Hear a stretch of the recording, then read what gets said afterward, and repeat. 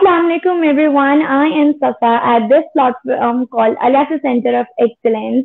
हम daily basis पे, जैसे आपको पता है कि डिफरेंट टॉपिक्स के साथ साथ डिफरेंट डिस्कशन लेकर आते हैं एक बेहतरीन गेस्ट के साथ, ताकि आप ज़्यादा से ज़्यादा हमसे लुत्फ अंदोज हो सके आज जो हमारे पास गेस्ट हैं, वो एक ना के सिर्फ़ एक बिजनेसमैन है, एक ऑन्टरप्रिनोर है, एक ट्रेनर हैं बल्कि और भी मजीद उन्होंने इतनी अपनी लाइफ में स्ट्रगल करके एक जो टाइटल हासिल किया है, आज हम उनसे पूछेंगे कि उनकी कैसी जर्नी रही। उन्होंने ये जो एक ऑक्यूपेशन अपना लिया, वो कैसे लिया, किस तरह से उन्होंने अपनी लाइफ को एक सक्सेसफुल स्टोरी बनाई। और जो हमारा टॉपिक है कि टर्की में हम लोग रहते हुए पाकिस्तान में या कहीं से भी इन्वेस्टमेंट कैसे कर सकते हैं। तो अस्सलाम वालेकुम सर, कैसे हैं आप? वालेकुम अस्सलाम। बिल्कुल ठीक ठाक। आप बताएँ कैसी हैं सफ़ा? अल्हम्दुलिल्लाह बिल्कुल ठीक।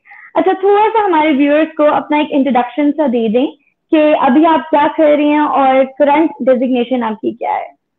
अच्छा I am the CEO and the founder of the Fortune group of companies and we are based in Istanbul Turkey हमारी तकरीबन कुछ सात आठ डिफरेंट कंपनीज़ हैं जो आती हैं अंडर द फॉर्चून ग्रुप ठीक है जो अम्ब्रेला में आती हैं जिसमें फॉर्चून बिज़नेस हो गया फॉर्चून प्रॉपर्टी हो गया फॉर्चून एडवर्टाइजमेंट मार्केटिंग हो गया फॉर्चून लीगल सर्विसेज़ है फॉर्चून होम्स है एंड लिस्ट गोज ऑन तो तकरीबन ये कुछ आठ डिफरेंट कंपनीज़ हैं जिसके ऊपर हम काम कर रहे हैं और uh, हमारे तीन चार डिफरेंट ऑफ़िस हैं around the world and so far really good That's that's amazing. Uh, so इनके अलावा या इनके समेत वैसे अपनी सर्विसेज़ ब्रीफ आउट कर दे कि जो आपकी कंपनी ऑफ़र करती है। अच्छा देखें जिस तरह मैंने आपको बताया the names are self explanatory जो अगर फॉर्चून लॉ है तो वो लॉ को मैनेज कर रही है। जो भी आपका कानूनी मामला हैं टर्की के लीगल सर्विसेज़ हैं प्रॉपर्टी के बाद जो आपका पासपोर्ट का होता है वो हमारा इन हाउस ये हम मैनेज कर रहे हैं।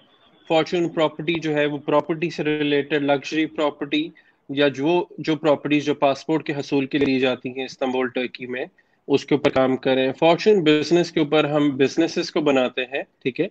और उसको फिर बाद में भेज देते हैं। फॉर्चून होम्स में हमारे अपने वेयर हाउसेज हैं। हम वहाँ पे फर्नीचर बनाते हैं कस्टमाइज बेसिस पे और उसके ऊपर काम हो रहा है। एडवर्टाइजमेंट एंड मार्केटिंग की बात की जाए तो यहाँ पर हम आ, देखा जाए तो वन ऑफ़ द बिगेस्ट हमारा चैनल है यूट्यूब का। प्लस हमने कुछ प्रोजेक्ट्स किए हैं। जी। हमने कुछ प्रोजेक्ट्स किए हैं मिनिस्ट्री के साथ भी यहाँ पे टूरिज़्म मिनिस्ट्री के साथ भी। पाकिस्तान से कुछ बड़े नाम हमारे पास आए थे और आने वाले दिनों में और कुछ नाम आएँगे। तो इस तरह की हम डॉक्यूमेंट्रीज बनाते हैं और बहुत सारी चीज़ें हो रही हैं इसके साथ साथ। अच्छा टर्की की बात करते हैं। It's in you know most visited place you know किसी ने वेकेशन हाँ एग्जैक्टली यस किसी ने अगर रिसेंटली recently कहीं सोचा है कि you know let's hang out so they went to Turkey कुछ टर्किश बहुत ज़्यादा ट्रेंड्स एज पर सीरियल्स हमारे यहाँ पाकिस्तान में आना शुरू हो गए और अब लोकल हमारे चैनल पे भी लगना शुरू हो गए। So Pakistani people are you know more willing to trying to invest in Turkey तो आपका उस पर। एक नज़रिया क्या है और आप क्या समझते हैं कि क्या ये एक अच्छी अपॉर्चुनिटी है पाकिस्तान लोगों के लिए? या एक इस पे रिस्क बहुत ज़्यादा है या आप इसको किस तरह से फॉरवर्ड लेकर चलते हैं? सफ़ा देखा जाए तो we are among the pioneer companies जिसमें पाकिस्तानियों को यहाँ पर लाना शुरू किया था 2015-16 के आसपास। और up to now hundreds of alhamdulillah and say satisfied clients and they are a part of our जिसके ऊपर काम हो रहा है पाकिस्तान से लोग आ रहे हैं इन्वेस्टमेंट कर रहे हैं पासपोर्ट ले रहे हैं सेकंड होम्स ले रहे हैं समर होम्स ले रहे हैं। तो हम्म। बहुत लोग आ रहे हैं। अगर हम बात किया जाए यहाँ पे कितने लोग आए हैं और कितने आ रहे हैं तो 2019 में यहाँ पे 45 मिलियन टूरिस्ट आया था ठीक है? फिर उसके बाद जो है बिकॉज़ ऑफ़ कोविड सिचुएशन थोड़ी सी खराब है मगर ये पूरी दुनिया से इस वक्त क्योंकि ओपन डेस्टिनेशन और मोस्ट प्रेफरेबल डेस्टिनेशन लोगों के लिए टर्की है तो टर्की लोग आ रहे हैं क्योंकि यहाँ पे सबसे बड़ा फ़ायदा ये हमें मिल रहा है कि आप प्रॉपर्टी लेते हैं और प्रॉपर्टी की बेसिस पे आपको टर्किश पासपोर्ट मिल जाता है। आपको बाखूबी अंदाज़ा है कि हमारे पाकिस्तानी पासपोर्ट या हमारे साउथ एशियन पासपोर्ट की क्या वर्थ है पूरी दुनिया में? आपको लंबी कतारों में लंबी लाइनों में लगना पड़ता है। और बड़ी पशमानियों से गुजरना पड़ता है हर छोटी छोटी चीज़ों के लिए हर छोटे छोटे मुल्क के लिए आपको वीज़ा अप्लाई करना पड़ता है। तो दैट्स रियली बैड तो दिस इज़ द रीजन जो लोग इन्वेस्टमेंट करना चाहते हैं उनके लिए it's heaven at the moment जो लोग बिज़नेस करना चाहते हैं उनके लिए it's heaven at the moment क्योंकि अगर आप हमारी जियोग्राफिकली uh, देखें या स्टैटिकली uh, देखें तो लोकेशन बड़ी अच्छी है. सेंटर ऑफ़ द वर्ल्ड ठीक है? आप हमारे एक तरफ़ एशियन कंट्रीज़ हैं दूसरी तरफ़ यूरोपियन कंट्रीज़ हैं एक तरफ़ आपके रशिया आ हम्म। जाता है फिर अरब कंट्रीज़ आ हम्म। जाते हैं अफ्रीकन कंट्रीज़ आ जाते हैं और तीन से चार हम्म। घंटे के अंदर आप इन सारी जगह में पहुँच जाते हैं बिल्कुल ऐसा ही है बिल्कुल okay why is it you know um, a good idea to invest in turkey अच्छा देखें सफ़ा क्योंकि ढाई लाख डॉलर पाकिस्तानी देखा जाए चार करोड़ के आसपास कुछ बनता है और आपको भी पता है कि अगर इतने प्राइस में पाकिस्तान कराची जैसे शहर में समद लाहौर बड़े हम तीन शहरों की बात करें तो यहाँ पे आपको एक अच्छी प्रॉपर्टी नहीं मिलती। यहाँ पर आठ आठ दस दस करोड़ के घर मिलते हैं। तो टर्की में क्या है यहाँ पर आपको घर भी मिल रहा है आपकी इन्वेस्टमेंट भी सेफ़ है हम्म। और प्लस बोनस के हम्म। तौर पे फ्री में यहाँ पर आपको पासपोर्ट भी मिल रहा है। तो वाई नॉट कौन अवेल नहीं करना चाहेगा इसको? और ये एक पर्सन के लिए नहीं है ये उन सब के लिए फॉर सपोज़ हस्बैंड वाइफ है उनके बच्चे अठारह साल से छोटे हैं फॉर सपोज़ दो बच्चे हैं तो पूरी फैमिली को टर्किश पासपोर्ट मिल जाएगा in less than three months Oh, that's amazing. So, what's the process of getting that particular passport in three months? अच्छा होता क्या है तीन प्रोसेस हैं बेसिकली मगर एक जो है वो सबसे mm-hmm. ज़्यादा चल रहा है यहाँ पे कि आपने प्रॉपर्टी ली या एक या मल्टीपल प्रॉपर्टीज़ जो भी ढाई लाख डॉलर के अंडर फॉल करती हैं थ्रेशोल्ड होता है ठीक है? ठीक है। आपने ढाई लाख डॉलर की प्रॉपर्टी ली उसके बाद उसकी वैल्यूएशन होती है फिर लीगल मामला होते हैं और आपकी और आपकी पूरी फैमिली को तीन महीने के अंदर अंदर टर्किश पासपोर्ट मिल जाता है। और जो okay. सबसे बड़ा एडवांटेज ये है कि 99% ऑफ़ द टाइम या 100% ऑफ़ द टाइम आप चाहें तो आप ऑनलाइन बैठ के सारा कुछ कर सकते हैं विद टर्किश काउंसलर्स या Turkish embassies around the world कि आपको टर्की आने की भी ज़रूरत hmm. नहीं है और आप अपने hmm. ही घर पे अपने ही कंफर्ट सिटी में बैठे आप ये पासपोर्ट हासिल कर सकते हैं hmm. That's that's truly amazing. So particularly, जैसे आपने एक फिगर बताया, ढाई लाख, एक हम इसको एक मिनिमम रिक्वायरमेंट कह लेते हैं या मिनिमम एक यू नो स्केलेबिलिटी कह लेते हैं इन्वेस्टमेंट की because investment rely on people to people and you know to places to places they they want to invest तो अगर एक चंक की बात की जाए, या just to give our viewers a figure that what figure that should be in their mind in particular to keep it safe to invest in invest in Turkey हाँ। देखें मिनिमम ढाई लाख डॉलर तो आपका थ्रेशोल्ड है ठीक है? उसके हम्म, बाद हम्म, आपका ये समझें कि 10 से 15 बीस हज़ार डॉलर ऊपर डॉक्यूमेंटेशन के ऊपर उसकी टाइटल डीड के हम्म। ऊपर लॉयर फ़ीस एक्सपर्टीज फ़ीस एक परसेंट या कई सूरतों में वैट एग्जामेशन के ऊपर तो तकरीबन ये समझें कि आपके पास अगर दो लाख सत्तर हज़ार दो लाख अस्सी हज़ार डॉलर है तो आपका इजिली ये काम हो जाता है। सही सही सही। तो it's one time investment right तो इसका आर uh, uh, क्या है? आपको रिटर्न कितने uh, उसमें मिल रहा होगा? या आपको रिटर्न क्या फ्यूचर क्या है आपका? कितने सालों में आपको लगता है क्या एक बंदा ये कॉस्ट इतनी एक इन्वेस्ट कर रहा है वो रिटर्न ले सकता है? अच्छा सफ़ा इसमें देखें ये दो अलग अलग चीज़ें हैं। अगर हम आर का हम्म। देखें इस्तांबुल की हम्म। बात की जाए तो आपको पाँच से सात फ़ीसद आसानी से आरओआई मिल जाता है ठीक है? मगर यहाँ पे लोगों का आर के ऊपर इतना नहीं है। यहाँ पे कैपिटल एप्रिसिएशन या कैपिटल गेन के ऊपर ज़्यादा फोकस है। अगर आप स्टैटिस्टा रिपोर्ट भी उठा के देखें तो मिनिमम मिनिमम हम्म, हम्म। जो है इस्तांबुल का पचास फ़ीसद कैपिटल गेन आया सालाना ठीक है जोन वन का। Okay. और एट एन एवरेज पूरे टर्की का बत्तीस फ़ीसद आया है।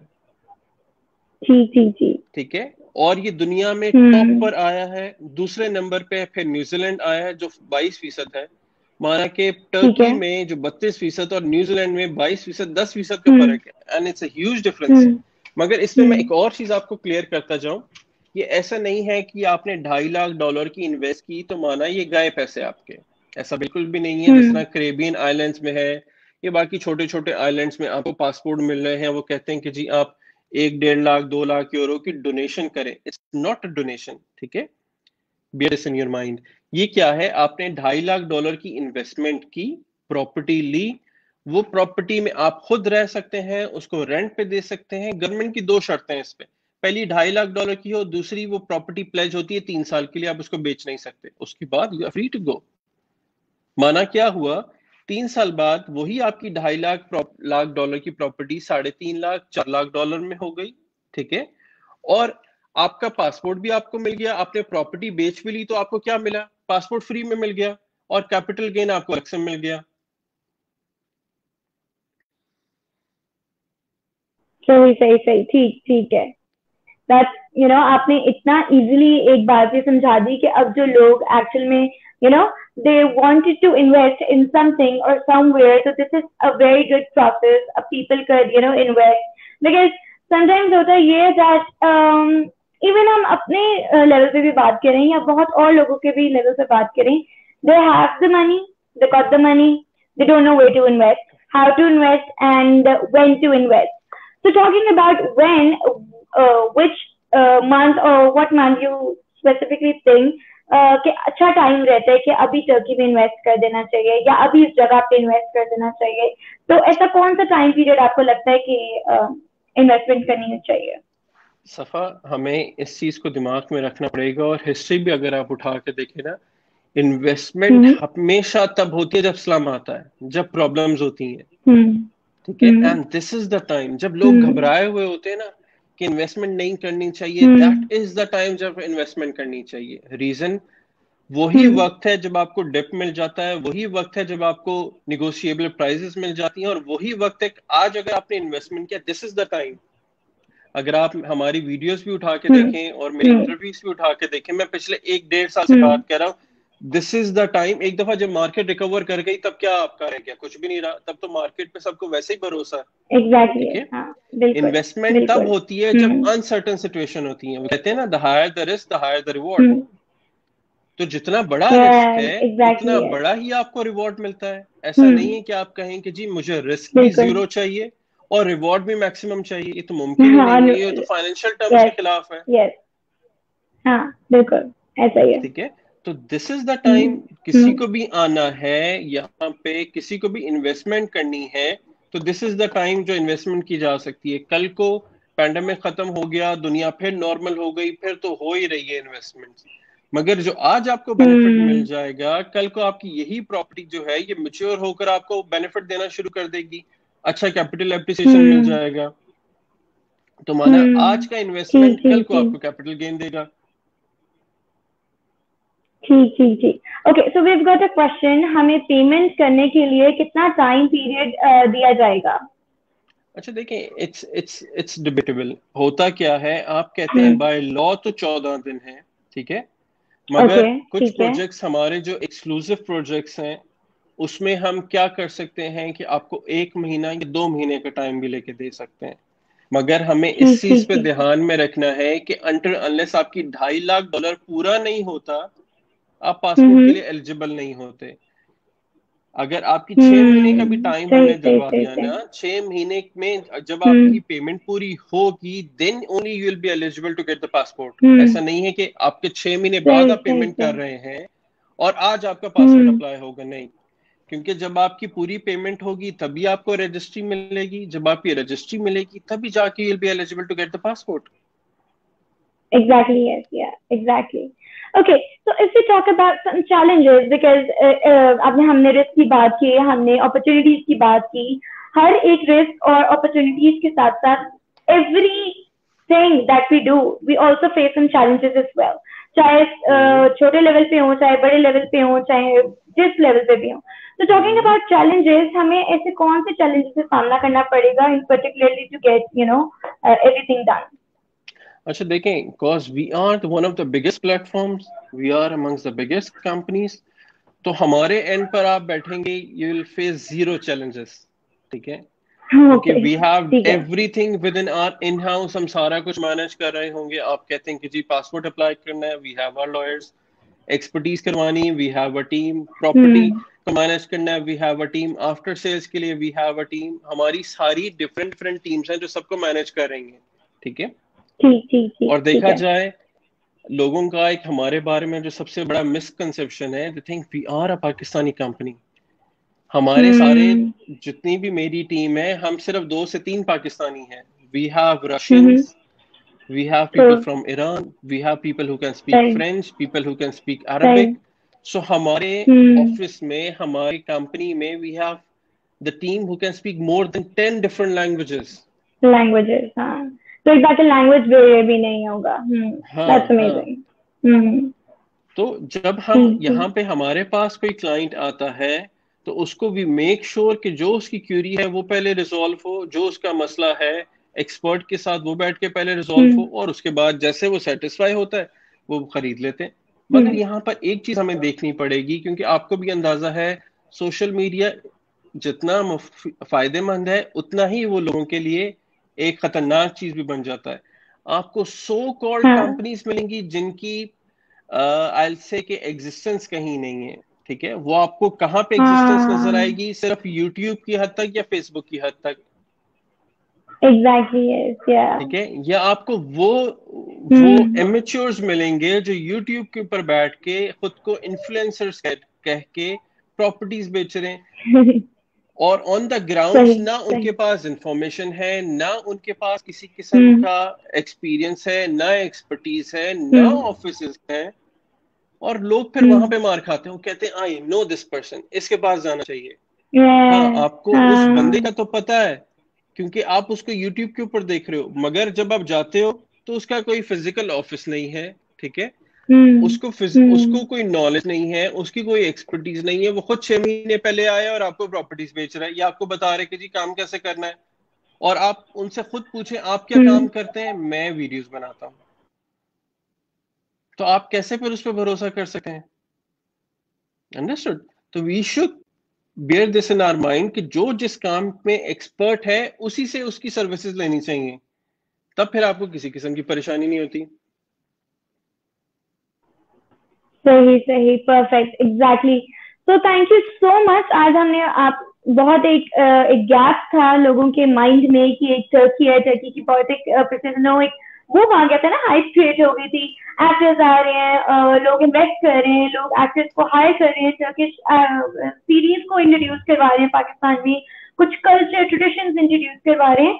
उसके साथ साथ ही इन्वेस्टमेंट की भी बातचीत चल रही थी among people that you know they should invest in Turkey as well. So it, we've got a very good understanding about talking about the opportunities, the challenges, the uh, the processes and everything. So thank you so much for your time. It was lovely You're having welcome. you on our platform. You're welcome. You're welcome. Okay. Thank so you. viewers, if you have any questions, just drop down your questions in our comment section and we will be answering all of your questions. Um, thank you so much for your feedback as well, everyone. I have been reading your comments and there were tremendous, very good reviews. Uh, people were enjoying this conversation, right? So again, thank you so much. Have a good day and You're take welcome. care. Thank you, Safa. Take care. Have a nice day. Nothing.